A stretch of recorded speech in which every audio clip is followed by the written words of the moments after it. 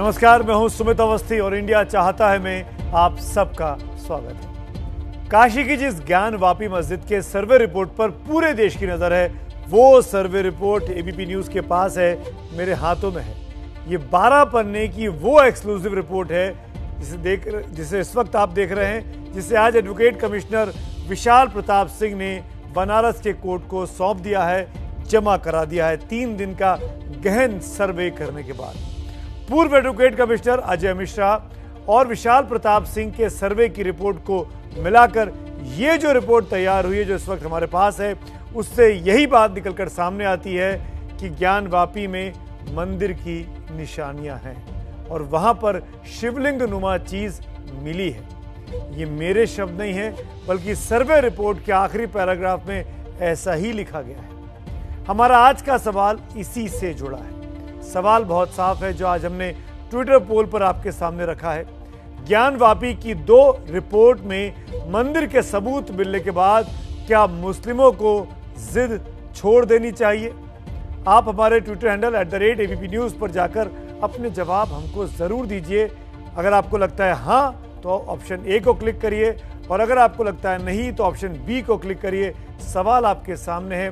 ज्ञान वापी की दो रिपोर्ट में मंदिर के सबूत मिलने के बाद क्या मुस्लिमों को अब जिद छोड़ देनी चाहिए?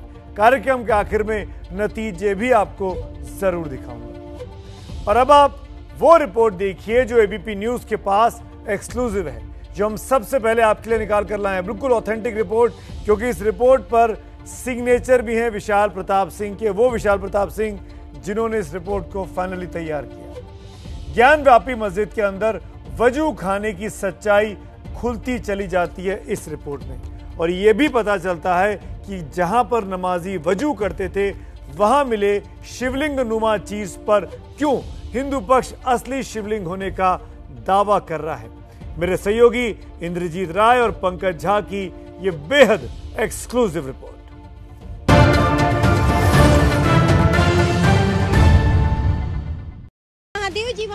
विश्वेश्वर जी वो भी छोटे मोटे नहीं बड़े हैं। किसी फव्वारे को आप कह दीजिए कि शिवलिंग है तुम ये मान नहीं सकते। अभी हमें बाबा का परिवार पूरा पूरा वहाँ मिलेगा। हमारे गणेश जी हैं हमारे वहाँ पे नंदी जी हैं हमारी मान जी हैं सब आएँगे साथ।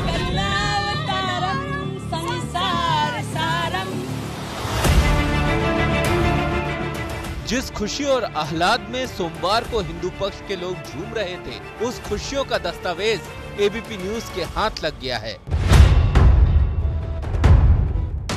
ज्ञानवापी के वज़ू कुंड में पत्थर की जो आकृति मिली, जिसके बाबा विश्वनाथ का स्वयंभू शिवलिंग होने का दावा किया जा रहा था, उसकी सर्वे रिपोर्ट एबीपी न्यूज़ के पास आ चुकी है। तो आपको दिखाते हैं कि कैसे हर हर महादेव के मंत्रोच्चार से जिस शिवलिंग के कभी गूंजने का दावा किया जा रहा था, उस पर सर्वे की अपनी रिपोर्ट में एडवोकेट कमिश्नर विशाल सिंह ने क्या कहा है। एडवोकेट कमिश्नर विशाल सिंह ने जो रिपोर्ट दी है, उसके सातवें पन्ने के पहले पैराग्राफ में साफ़ साफ़ लिखा है। वादीगण के अधिवक्ता द्वारा कमीशन की कार्रवाई के दौरान कोर्ट कमिश्नर का ध्यान आकृष्ट कराया गया कि इस कुंड के बीचों बीच भगवान शिव का शिवलिंग है। लगभग आठ बजकर चालीस मिनट पर कुशल ड्राफ्टमैन बीडीए द्वारा नंदी से कुंड तक नाप की गई, जिसकी दूरी तिरासी फीट तीन इंच पाई गई। तब वादी के अधिवक्ता द्वारा बताया गया कि पानी के कुंड के बीचों बीच में गोलाकार कुएँ की जगत जैसी जगह के बीच में पत्थर कायम है और उनके द्वारा कमीशन कार्रवाई हेतु ध्यान आकृष्ट कराया गया और इसके बीचों बीच भगवान शिव का शिवलिंग है।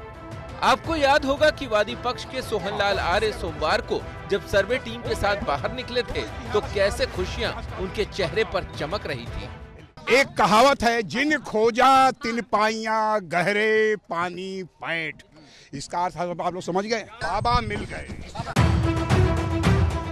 अब सर्वे रिपोर्ट के उसी पेज नंबर सात के दूसरे पैराग्राफ की तरफ़ बढ़िए वाराणसी कोर्ट में अपनी रिपोर्ट पेश करने वाली सर्वे टीम ने दूसरे पैरा में लिखा है कि कैसे मछली पालन अधिकारी की सलाह पर पानी को दो फीट नीचे तक कम किया गया, ताकि तालाब की मछलियाँ ज़िंदा रहें। रिपोर्ट में लिखा है, इस सलाह के अनुसार पानी कम किया गया तो काली गोलाकार पत्थरनुमा आकृति, जिसकी ऊंचाई लगभग ढाई फीट रही होगी दिखाई पड़ी। इसके टॉप पर कटा हुआ गोलाकार डिज़ाइन का अलग सफ़ेद पत्थर दिखाई पड़ा, जिसके बीचों बीच आधी इंच से थोड़ा कम गोल छेद था, जिसमें सीट डालने पर तिरसठ सेंटीमीटर गहरा पाया गया। इसकी गोलाकार आकृति की नापी की गई तो बेस का व्यास लगभग चार फुट पाया गया। इस दौरान कमीशन कार्यवाही वादी पक्ष के अधिवक्ता गण इस गोलाकार काले पत्थर को शिवजी का शिवलिंग कहने लगे। तब प्रतिवादी संख्या चार के अधिवक्ता द्वारा कहा गया कि ये फव्वारा है। यानी उस सर्वे टीम की जाँच, फोटोग्राफी और वीडियोग्राफी के बीच अब ये सवाल उठने लगा कि ये शिवलिंग है, जैसा हिंदू पक्ष दावा कर रहा था, या फिर फव्वारा है, जैसा मुस्लिम पक्ष की दुहाई थी। एबीपी न्यूज़ ने जब सर्वे की रिपोर्ट का बारीकी से अध्ययन किया तो मंदिर बनाम मस्जिद और शिवलिंग बनाम फव्वारे की कहानी खुलती चली गई। आप देखिए कि अपनी रिपोर्ट में सर्वे टीम ने कहा क्या है। इस दौरान कोर्ट कमीशन कार्यवाही, वकील कमिश्नर ने प्रतिवादी संख्या चार, अंजुमन इंतजामिया के मुंशी श्री एजाज मोहम्मद से पूछा कि ये फव्वारा कब से बंद है? तो बोले, काफ़ी समय से बंद है और फिर कहे कि 20 वर्ष से बंद है। फिर बाद में कहा कि 12 साल से बंद है। वादी के अधिवक्ता द्वारा कहा गया कि दौरान कमीशन फव्वारा मुंशी जी चालू करके दिखाएँ। तब मुंशी श्री एजाज अहमद ने असमर्थता ज़ाहिर की। उस आकृति की गहराई में बीचों बीच सिर्फ़ आधे इंच से कम का एक ही छेद मिला, जो तिरसठ सेंटीमीटर गहरा था और उसके अलावा कोई छेद किसी भी साइड में या किसी भी अन्य स्थान पर बावजूद खोजने पर नहीं मिला और फव्वारा हेतु कोई पाइप घुसाने का स्थान नहीं मिला, जिसकी फोटोग्राफी और वीडियोग्राफी की गई। तो सवाल है कि जिसे फव्वारा बताकर मुस्लिम पक्ष सुप्रीम कोर्ट तक अपनी गुहार ले गया, उसकी सच्चाई वो सर्वे रिपोर्ट में दिखा नहीं पाया। वज़ू करेंगे, नमाज़ पढ़ेंगे, और वो जिसको कहा जा रहा है प्रोटेक्शन के लिए 400 साल से उसको हाथ नहीं लगाए। और अगर यही आगे आप आप करते रहेंगे तो फिर ताजमहल को बंद कर देना पड़ेगा, पूरे फवारे बंद हो जाएँगे ताजमहल के। जैसे जैसे रिपोर्ट की परतें खुलती चली जाएँगी, आपके सामने तीन सौ तिरपन साल पुराने कड़वे इतिहास की कई सच्चाई प्याज के छिलकों की तरह खुलती चली जाएँगी। वाराणसी से रणवीर, अजय दुबे, ज्ञानेन तिवारी के साथ पंकज झा की रिपोर्ट। तो ये जो विशाल प्रताप सिंह की कमीशन की रिपोर्ट है, जो आज बनारस के कोर्ट में जमा की गई, अब इसके कुछ पैराग्राफ के कुछ जो महत्वपूर्ण अंश हैं, जिनसे शिवलिंग साबित होता है, इस रिपोर्ट के मुताबिक वो आपके सामने रखते हैं। आपको मैं एक एक चीज़ पढ़ के बताता हूँ, जो इस रिपोर्ट में कहा गया है। धीरे धीरे आपको आगे बढ़ूँगा। सिंपल शब्दों में सरल एनिमेशन के ज़रिए आपको समझाने की हम कोशिश कर रहे हैं कि दरअसल वहाँ पे कमीशन के लोगों ने क्या देखा और फिर कोर्ट कमिश्नर ने क्या रिपोर्ट सौंपी। ये ज्ञान वापी मस्जिद का इलाका और ये उसके आगे बैरिक उसकी पूरी जाली लगाकर इसको सील कर दिया गया है। यहाँ पर वो कुंड है, जिसको वापी कहा जाता है। मैं, ये कैमरा, एनिमेशन का कैमरा अंदर की तरफ़ जाएगा, जो आपको बताएगा कि अंदर क्या क्या चीज़ें देखी। ये देखिए, ये सब इस रिपोर्ट के मुताबिक है। ये कुंड कुंड के चारों तरफ़ फवारे की बात जो मुस्लिम समाज कह रहा है और हिंदू समाज इस, इस चीज़ को शिवलिंग का एक रूप कह रहा है। इस चीज़ को अगर आप रिपोर्ट के मुताबिक देखा जाए तो रिपोर्ट में जो पत्थर रूम आकृति है इसके बारे में क्या कहा गया है?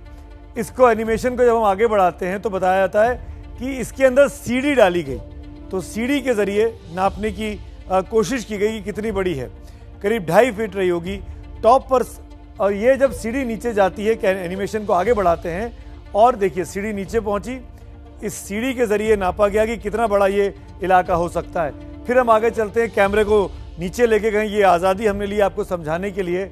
ये पूरा आकार है इस कथित शिवलिंग का या कथित फव्वारे का जो आपके सामने है। इस रिपोर्ट के मुताबिक एक ढाई फीट का है। काली गोलाकार पत्थर नुमा आकृति, इसको काली गोलाकार पत्थर नुमा आकृति कहा गया है।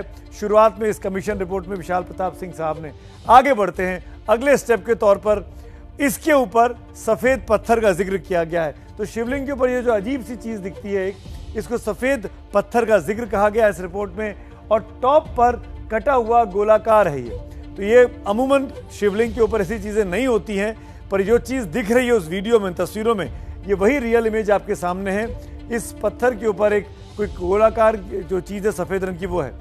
इसके बीच, जो बीच में आपको छिद्र दिखाई दे रहा है, ये करीब आधे इंच का है। इस रिपोर्ट के मुताबिक ये गोल छेद है, आधे इंच का है और इसके बाद कहती है इस रिपोर्ट कि इसमें सीख डाल के देखा गया। और जब ये सीख इसके अंदर डाली तो ये करीब तिरसठ सेंटीमीटर तक अंदर गई। तिरसठ सेंटीमीटर मतलब करीब करीब दो फिट तीन सेंटीमीटर, या एग्जैक्टली कहें तो दो फिट तीन सेंटीमीटर के आसपास की ये सीख है। ये सीख अंदर जाती है। इसके बाद रिपोर्ट क्या बताती है ये बहुत दिलचस्प चीज़ है। ये जो गोलाकार है, इसका जो व्यास है, इसका जो रेडियस है, ये करीब चार फिट का है। इसका डायमीटर माफ़ करिएगा, वो करीब चार फिट का है। और इसके बाद वादी का ये कहना यानी हिंदू पक्ष का ये कहना है कि ये दरअसल शिवलिंग ही है, जबकि प्रतिवादी जो है, मुस्लिम पक्ष जो हैं, उनका ये कहना है कि ये फव्वारा है और वो ये भी समझाने की कोशिश करते हैं। हालाँकि इस रिपोर्ट में इस बात का ज़िक्र नहीं है कि ये फव्वारे के नीचे का हिस्सा है इसके ऊपर फवारा रहा होगा, यानी इस पत्थर के ऊपर फव्वारा रहा होगा, जो टूट गया वक्त के साथ, जो कि अब नहीं दिखाई देता है। ये इस रिपोर्ट में नहीं है, लेकिन ऐसा मुस्लिम पक्ष के लोग कहते हैं। अगल बगल में मुस्लिम पक्ष का कहना है कि फवारा है, और फव्वारे को चुनौती दी थी हिंदू पक्ष के वकील विष्णु जैन ने कहा था कि अगर ये फवारा है तो चलवा के दिखाइए। अब रिपोर्ट क्या कहती है? अगल बगल में कोई छेद नहीं है। यानी कहाँ से पानी आएगा, ये नहीं पता, अगर ये फवारा है तो फव्वारे के लिए पाइप घुसाने की जगह भी नहीं है। यानी इस इस इस गोल आकार नुमा चीज़ में कोई छेद नहीं है बड़ा, जिसमें पाइप जा सके। और जब पाइप नहीं जा सकता तो फिर फव्वारा कैसे हुआ, फिर पानी कैसे बाहर निकलेगा? ये एक बेहद इंपॉर्टेंट फाइंडिंग है इस कमीशन की रिपोर्ट की। नौ दशमलव नौ इंच का गोलाकार का ये सफ़ेद पत्थर है, जिसके बारे में कहा गया। नाइन इंटू नाइन इंच का, और करीब पाँच खांचे हैं। इसमें आप गिन सकते हैं। ये जो पाँच, इसके पाँच खांचे हैं। ये पाँच खांचों में बटा हुआ है, जिसका ज़िक्र इस इस इस कमीशन की रिपोर्ट में विशाल प्रताप सिंह साहब ने किया हुआ है। तो आप समझ रहे होंगे कि ये तस्वीर जो है, ये जो तस्वीर है, ये बहुत कुछ इशारा कर रही है कि विशाल प्रताप सिंह अपनी इस रिपोर्ट में क्या कहते हैं।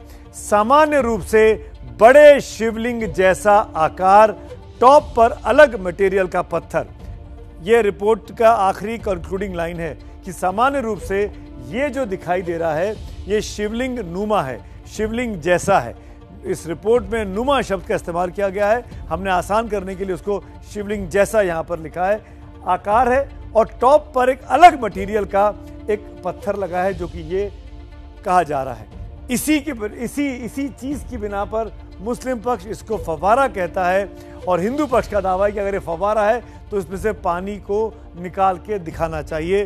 इस बात का ज़िक्र भी इस रिपोर्ट में, जो बेहद दिलचस्प बात है, कि जब हिंदू पक्ष ने कहा कि अगर फवारा है तो इसको चलाइए। तो जो मस्जिद के लोग थे, वहाँ पर मौजूद ज्ञानवापी मस्जिद के मुस्लिम समाज के लोग, उन्होंने कहा, ये तो 20 साल से ख़राब है, ये तो 12 साल से ख़राब है। फिर तीसरे किसी व्यक्ति ने कहा कि ये तो चलता ही नहीं है।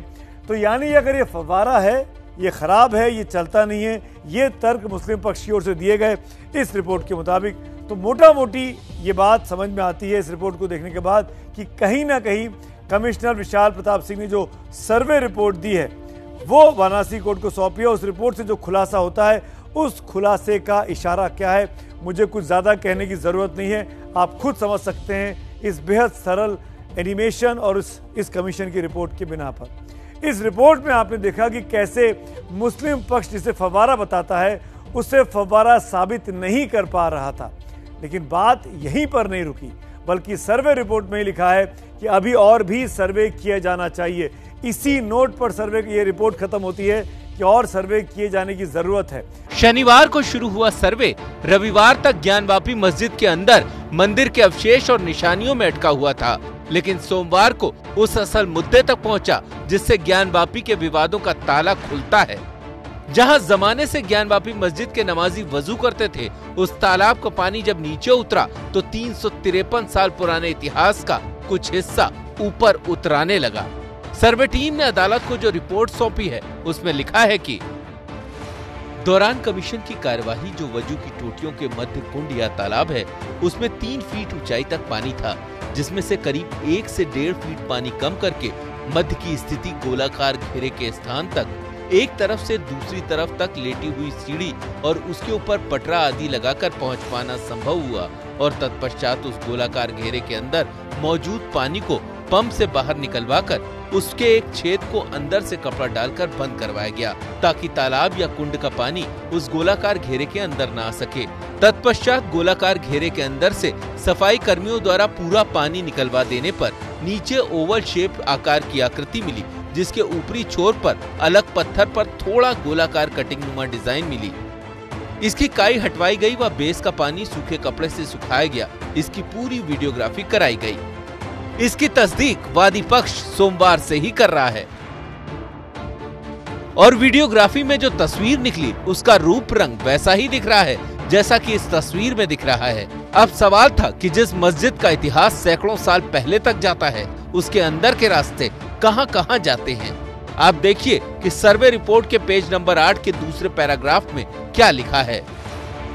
वादावादीगण के अधिवक्ता द्वारा कमीशन की कार्यवाही के दौरान ध्यान आकृष्ट कराया गया कि पूर्वी दिशा वज़ू स्थल के स्थान के पीछे पूर्व में एक स्थान में नीचे उतरने का स्थान है। इसकी पैमाइश की गई जिसमें चार सीढ़ी उतरकर उत्तर दिशा में चार फीट दो इंच चौड़ाई की गली कायम है, जो कि उत्तर की तरफ़ नापने पर 28 फीट 9 इंच पाई गई।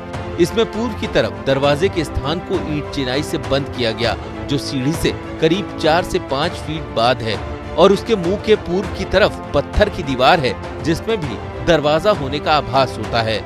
मस्जिद के ऊपरी दालान, यानी कोर्टयार्ड के पूरब स्थित वज़ू स्थान पर दक्षिण में तीन शौचालय के बाद उत्तर दिशा की तरफ़ चलने पर एक बड़ा स्नानागार और उसके तीन और शौचालय स्थित हैं। उसके बाद करीब साढ़े चार फीट चलने के बाद एक कुआँ है, जिसमें पानी मौजूद है, जिसकी फोटोग्राफी, वीडियोग्राफी कराई गई है।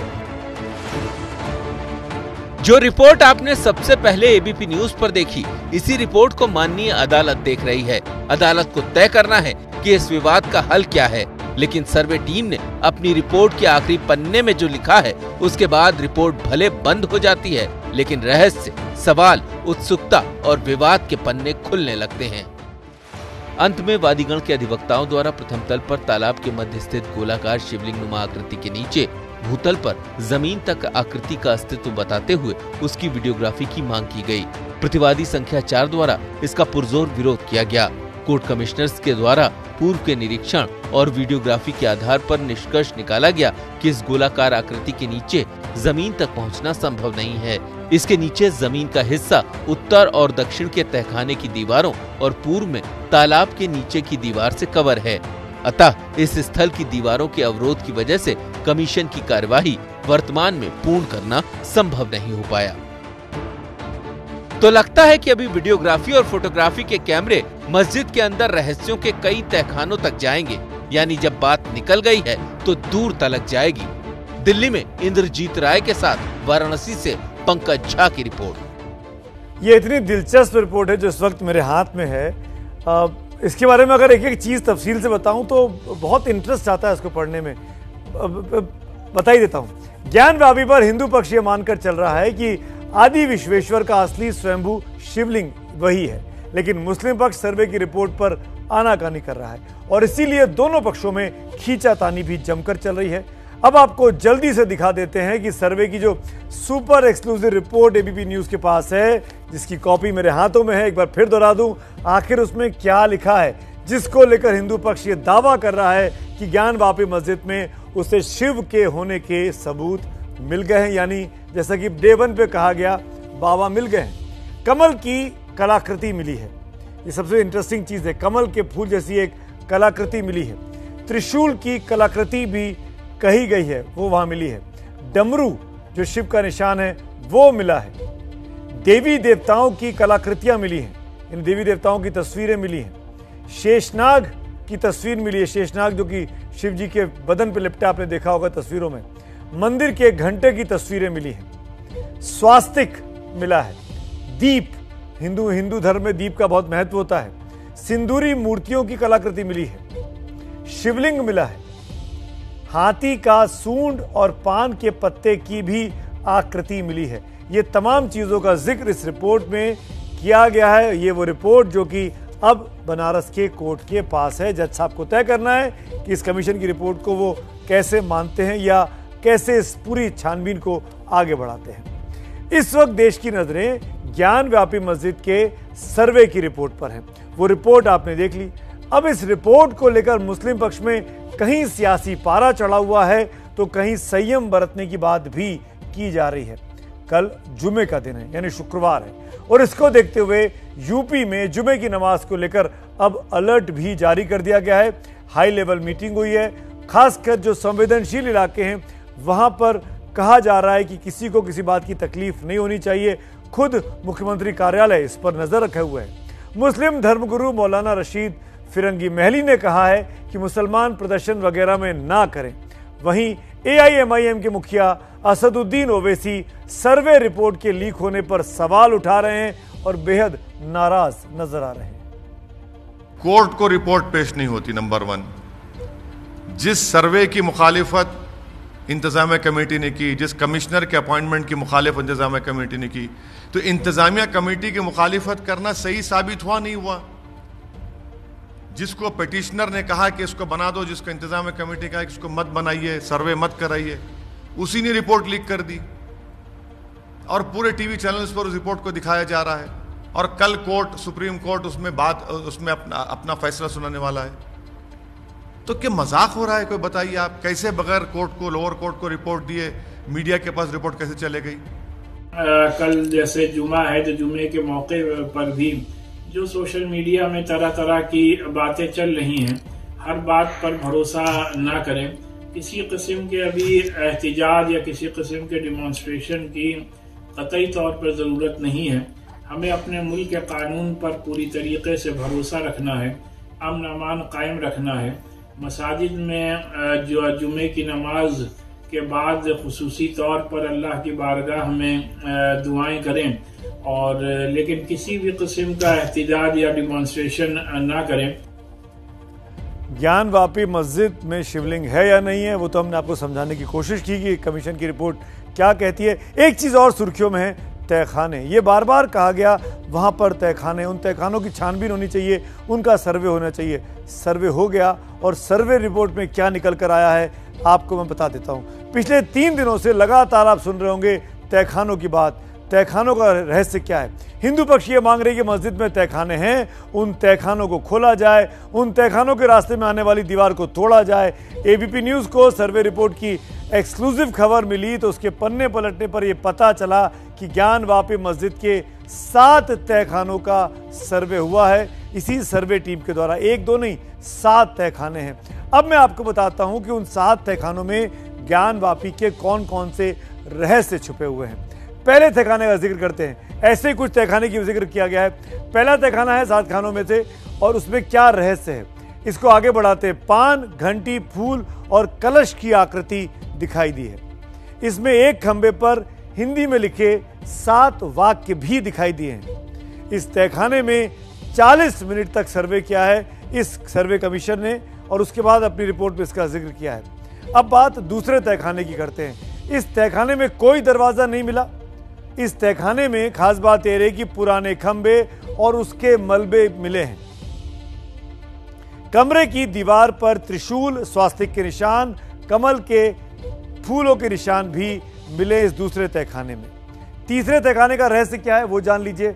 चूने से सफ़ेद पुताई की गई है। पहले दिन सुबह नौ बजकर पचपन मिनट पर इस तहखाने को खोला गया। इसमें मस्जिद के मुंशी ने कहा कि कोयले की दुकान चलती थी। लेकिन कोई कोयले का निशान इस तहखाने में नहीं मिला है, बल्कि चूने से उस कमरे की सफ़ेद सफ़ाई की गई थी, यानी सफ़ेद चारों तरफ़ पुताई की गई थी। चौथा तहखाना, और ये तीसरा तहखाना इसलिए भी महत्वपूर्ण हो जाता है कि कोयले की बात दिखी नहीं है, और कोयले के निशान को जैसे मिटाने के लिए कोशिश की गई कि वहाँ पर वहाँ पर जिस तरीके से पुताई की गई थी। चौथा तहखाना भी आगे बढ़ गया है, पाँचवें तहखाने की बात कर देते हैं। बिना दरवाजे का कमरा था, ये खास तौर पर इसमें कहा गया लेकिन उस कमरे में जो खास बात है इस पाँचवें तहखाने की, कि मलबा भरा हुआ है, आपको याद होगा कि हिंदू पक्ष मलबों की जाँच करने की बात कहता आ रहा था, क्योंकि उसे लगता है कि उसमें मंदिर के तोड़े फोड़े हुए अवशेष हो सकते हैं, उस मंदिर उस उस मलबे को निकाला जाना चाहिए, उसको हटाया जाना चाहिए। छठे तहखाने का रहस्य आपको बता देते हैं। ये गुंबद की छत की तरफ़ है। हालाँकि वहाँ पर फर्श के गर्म होने से टीम लौट आई वहाँ तक नहीं जा पाई क्योंकि नंगे पैर थे सब लोग और काफ़ी तेज धूप थी। सातवें तहखाने में क्या पाया गया? पत्थर पर मंदिर की आकृतियाँ दिखी हैं। हालाँकि उस कमरे में मलबा भी भरा हुआ है। पत्थर की आकृतियाँ भी दिखी, मलबा भी भरा हुआ दिखा। ये सात तहखानों का रहस्य था जो हिंदू पक्ष बार बार कह रहा है कि जो मलबा है, वो पुराने मंदिर के अवशेष हैं, उसको खाली करना चाहिए, उसको देखना चाहिए कि क्या उसके बाद ये साफ़ हो पाएगा कि वहाँ पर मंदिर था या नहीं था। इस कमीशन की रिपोर्ट चीज़ों को कुछ दिशा देती हुई दिखाई देती है, पर यह सब कुछ निर्भर करता है जज साहब के ऊपर कि वो इस रिपोर्ट को कैसे आंकते हैं, कैसे तोलते हैं। लेकिन अब सुनवाई तेईस तारीख को होनी है बनारस के कोर्ट में। उसके पहले महत्वपूर्ण सुनवाई कल सुप्रीम कोर्ट में होनी दोपहर को तीन बजे, जिसमें इस पूरे प्रोसेस को रोकने की मांग मुस्लिम पक्ष ने सुप्रीम कोर्ट से की गई है कि सर्वे अरवे सब बंद होना चाहिए। क्या सुप्रीम कोर्ट तय करेगा? ये कल दोपहर तीन बजे पता लगेगा और हम हमेशा की तरह सबसे पहले आपको वो रिपोर्ट भी सुप्रीम कोर्ट से दिखाएँगे। जैसा कि हम कहते हैं, आपको रखे आगे, हम इसको मानते भी हैं और आपको बताने की कोशिश भी करते हैं कि सबसे आगे हमने रखा आपको इस कमीशन की रिपोर्ट को बताने में, उसके विस्तार से समझाने में। अब ब्रेक के बाद जब हम लौटे हैं तो बात गानवापी मस्जिद पर जो सवाल उठ रहे हैं उस मस्जिद का इंतज़ाम देखने वालों का कहना है कि वो आलमगीर मस्जिद है। और वो मस्जिद तो औरंगज़ेब से तीन पीढ़ी पहले आए थे। अकबर बादशाह के जमाने में बनाई गई थी। अब अगर ये बात सही है तो क्या इतिहास के वो पन्ने झूठे हैं जिसमें काशी विश्वनाथ मंदिर को अकबर के वित्त मंत्री टोडरमल के हाथों बनवाने की बात सामने आती है? और हाँ आलमगीर तो औरंगज़ेब का नाम है, जिसका मतलब होता है विश्व विजेता। लेकिन औरंगज़ेब दुनिया नहीं जीत सका और ना ही लोगों का दिल। सर्वे के सबूत इशारा कर रहे हैं कि ज्ञान वापी की बुनियाद मंदिर की ईंटों पर ही खड़ी है, लेकिन अदालत के फैसले से पहले तर्कों के तराजू में झूठ का बटखरा भी खूब चढ़ाया जा रहा है।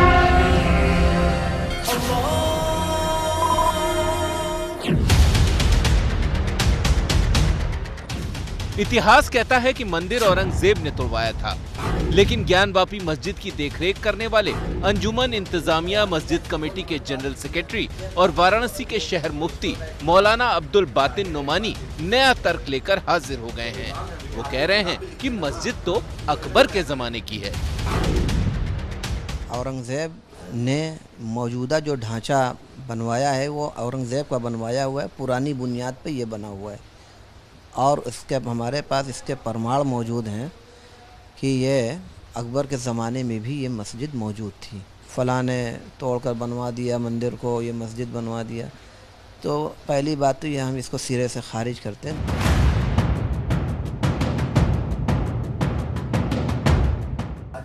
नोमानी के मुताबिक मंदिर का खंडन तो औरंगज़ेब ने किया ही नहीं। जो किया सो अकबर ने किया।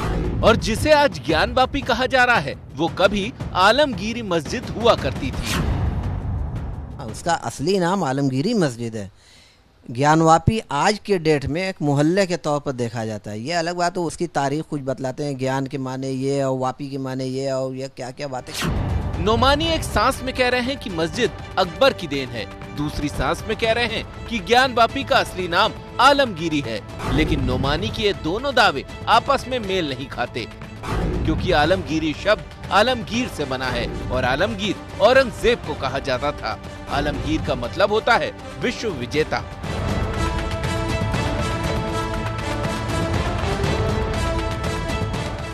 मतलब कि मंदिर को आलमगीर की हुकूमत में तोड़ा गया और उसे नया नाम दिया गया। ये बात इतिहासकार भी मानते हैं।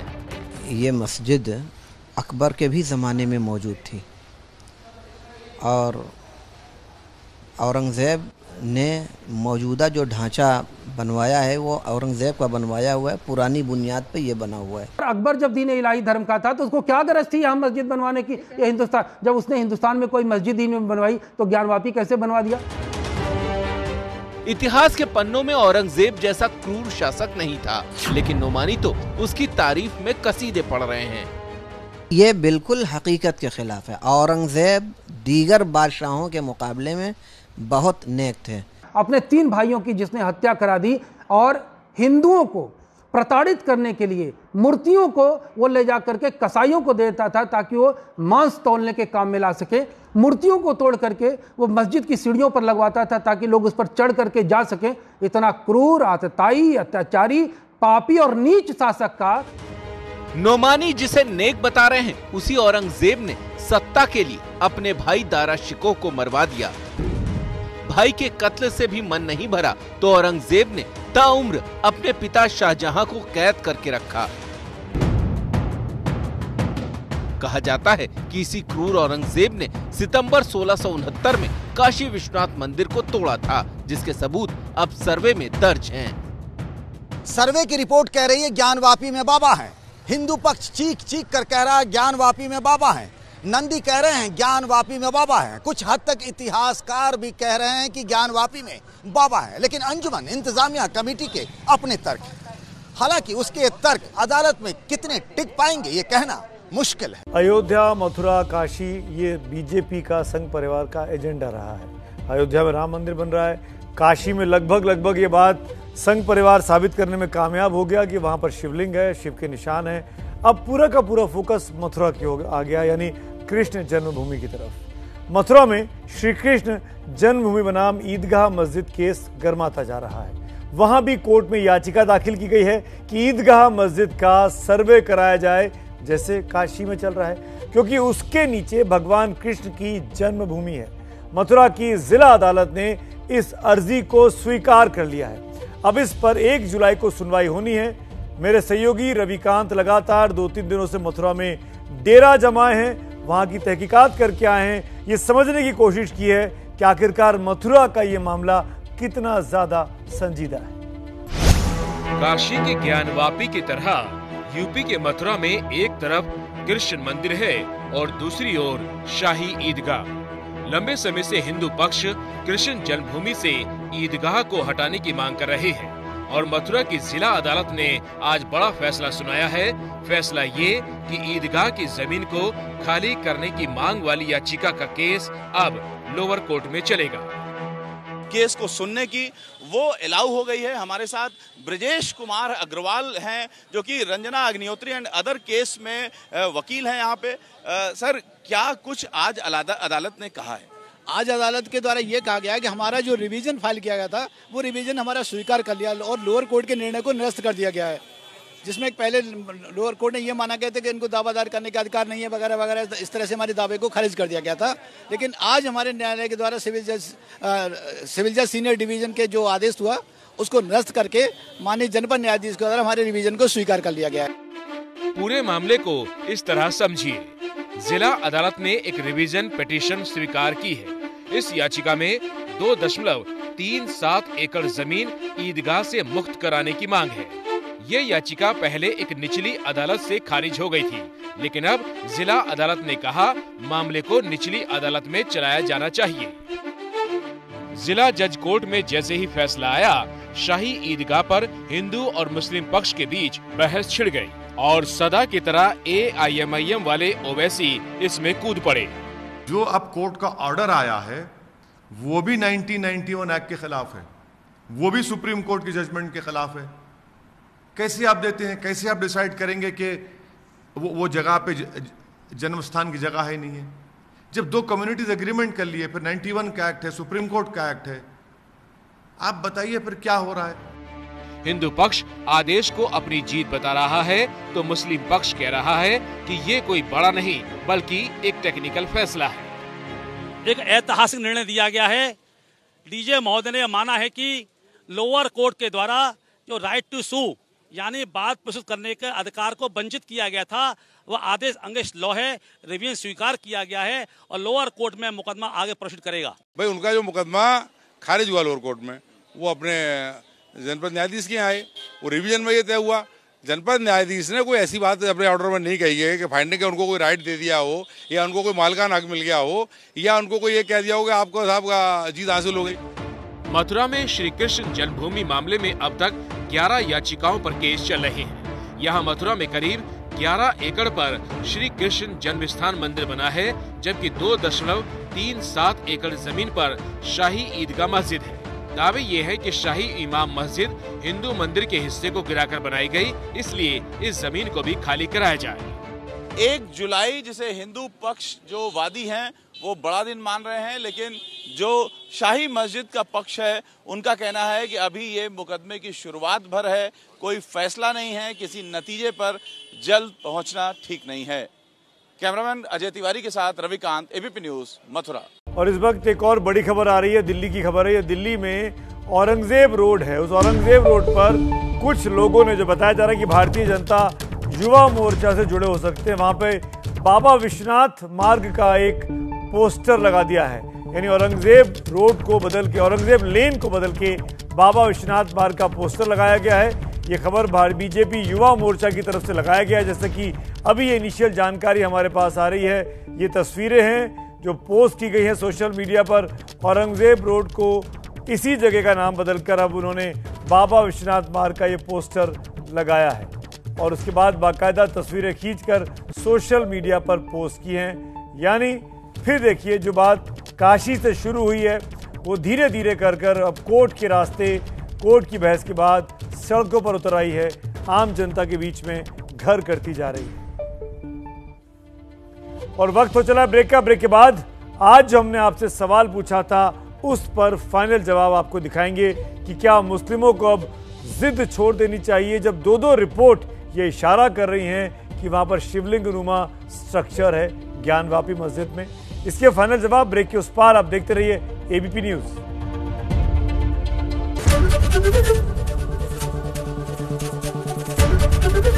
एबीपी न्यूज़ आपको रखे आगे।